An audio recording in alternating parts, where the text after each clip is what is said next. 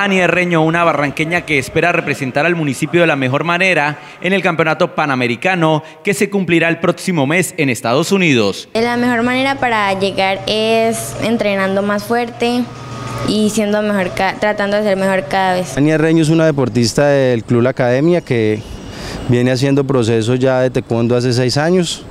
Eh, en este momento ya se encuentra primera en el ranking, campeona nacional. Herreño logró su paso luego de una serie de combates durante el 2018 y parte del 2019.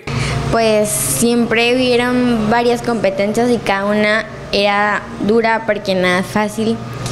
Y pues ahí estuve siempre dando lo mejor de mí para ganar. Ania hace inminentes esfuerzos para poder conseguir los recursos que le permita estar en el país del norte. Sí, ellos siempre están ahí apoyándome en mi deporte y en mi sueño. Son varios años los que lleva esta chica preparándose para estas justas. Llevo seis años practicando el taekwondo y me gusta porque es una disciplina que no ejerce cualquier deporte, sino que nos enseña que si uno no lo hace, no logra lo que quiere. Ania hace parte del club La Academia de Taekwondo.